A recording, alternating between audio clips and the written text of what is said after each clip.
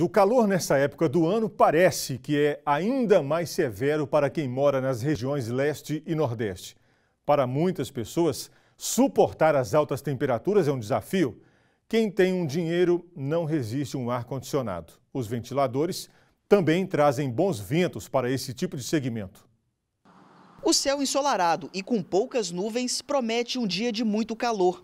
E para encarar as altas temperaturas vale de tudo: se hidratar, usar óculos de sol ou até mesmo se deliciar com um picolé.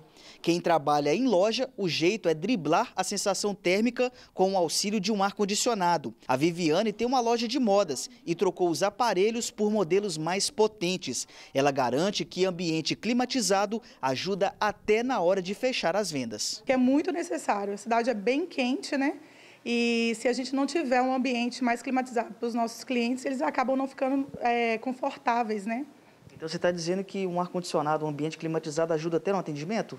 Ajuda, ajuda no atendimento, ajuda nas vendas, porque o cliente, ele com, com o corpo mais fresco, com a temperatura mais fresca, ele consegue experimentar a roupa mais à vontade, ele consegue ficar mais à vontade na hora de, de, de, receber esse atendimento. Né? Durante o verão, o governador Valadares costuma registrar temperaturas acima dos 40 graus, o que é muito bom para as lojas de ar-condicionado e de ventiladores. Só na primeira quinzena do mês de janeiro, o setor registrou um aumento de 10% no faturamento. E os bons ventos também fizeram as vendas disparar na internet. Sites especializados em aparelhos de ar-condicionado e ventiladores tiveram um aumento na procura.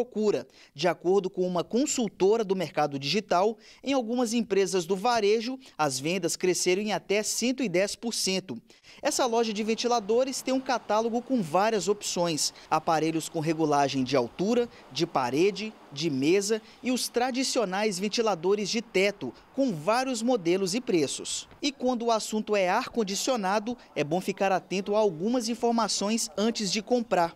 O tamanho do ambiente da casa, a potência e o sistema de funcionamento do aparelho podem influenciar na tarifa de energia. A variação da, da energia os clientes estão olhando muito o lado da economia. Então, as marcas que têm a, a, maior economia de energia estão sobressaindo sobre as outras. Grande parte dos volumes da gente são de produtos inverter. É, o produto inverter é um produto que tem uma tecnologia onde ele consegue uma maior eficiência do equipamento.